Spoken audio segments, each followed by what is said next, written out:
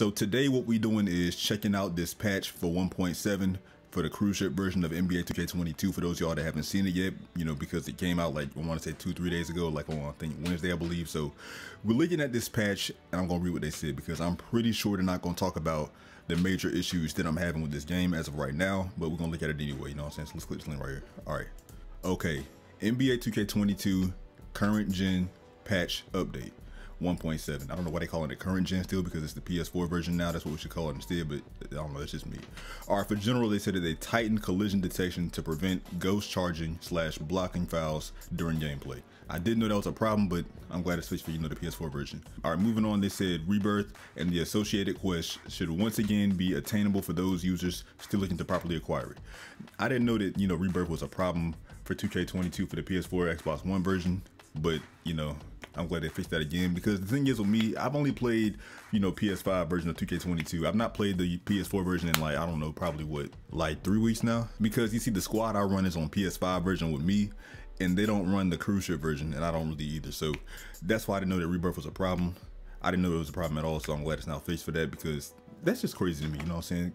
PS4 version, Xbox One version, I don't know what's going on on that version. You know what I'm saying? I don't know why Rebirth was not working right but I'm glad, like I said, it's now fixed. All right, anyway, the Gym Rat badge should once again be attainable for those users. Okay, Gym Rat badge was another one, just like the rebirth thing that was hard for people to get or whatever. I don't know why. I thought, see me, I thought that the Gym Rat thing was kind of similar to the whole Mamba Mentality badge, which I got for the PS5 version. So is it similar to that? Somebody let me know down below in the comment section down below. Is it similar? Because I thought it was similar, but I guess not.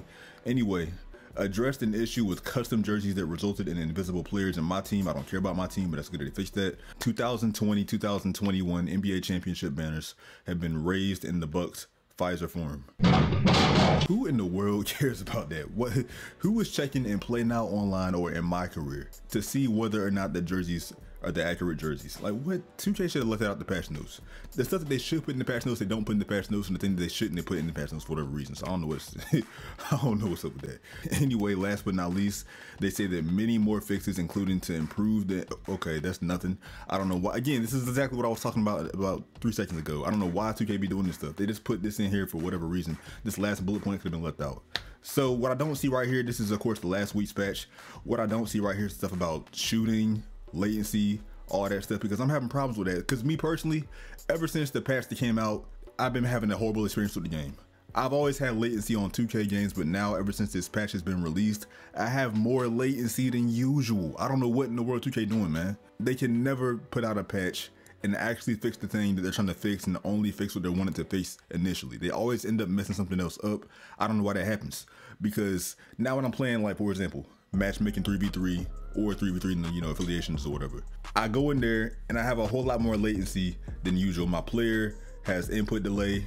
My dribble moves don't come out the right way. Nothing like nothing comes out correctly. Also the shooting, like I said in the previous video, like I want to say two, three videos ago, that the shooting is now worse too. Like they tried to make the shooting more balanced, but instead they made it more I don't know, choppy I should call it, when you have your shot meter on and when you have your shot meter off, you get early late glitches on, especially the PS4 version. So I don't know why the devs over at 2K cannot get this right or whoever is in charge of these patches cannot get them right. But anyway, we're gonna go on Twitter and see what the community's thinking of this because I can't believe that it's, you know, looked a lot of this stuff out. But um, let's go. All right. So under this little our latest patch initial post they put up, we got some people underneath. Now Badge Plug said paint defense seems to be buffed. Anyone else think so or notice it? Me personally, I don't have no interior defense anyway because I have a play shot, so I didn't notice. Um, what else did they patch? I ain't reading all that. Not much to read in that don't know why you didn't read it. Basically nothing. What's important is the many more fixes. Exactly, like he being sarcastic because 2K always does this, puts many more fixes and leaves, you know, us vague information, all that stuff. I don't know why they be doing that. My rebirth still gets no progression points. I mean, that sounds like a personal problem. Anyway, let's keep moving on.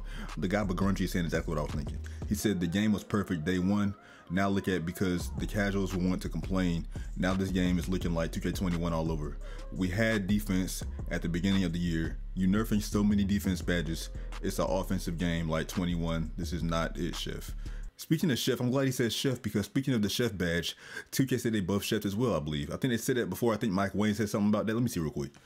I heard that the Chef badge was supposed to be buffed or whatever, but I'm looking at Mike Wang post right now and I don't see it at all. So I'm guessing that's just a rumor. I don't know.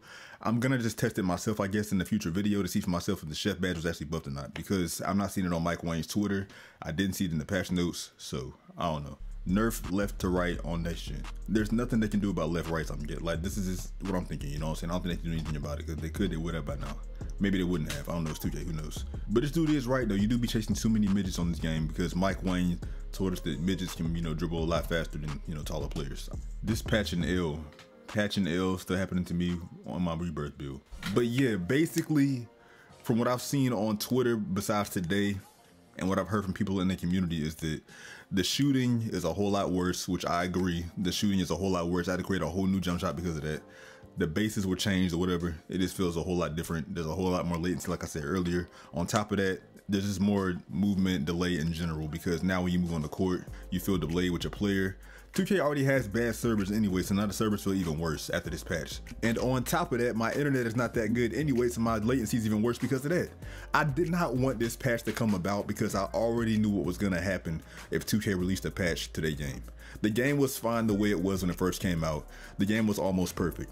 I think I saw somebody, I think it was either Badge Plug or Chalk say on Twitter that they believed that this game was in the top three 2Ks of all time before the patch came out. And I agree, like this probably was, in my opinion, the second best 2K of all time that we've ever had, right behind NBA 2K16, but not very far behind 2K16, like slightly behind it. Because, like I said, this patch just messed it up. Like, I don't understand why they keep doing this every single time they do a patch or a first initial patch. The same thing happened with 2K19, I believe. I think 2K19 was really good. Then they put out their first patch, made it horrible. I think that's when post course and shit over, you know, smaller players and everything, like real easy and all that stuff. Don't quote me on that, but I believe that was after the first patch with 2K19. The second patch, the game was still horrible, like I said.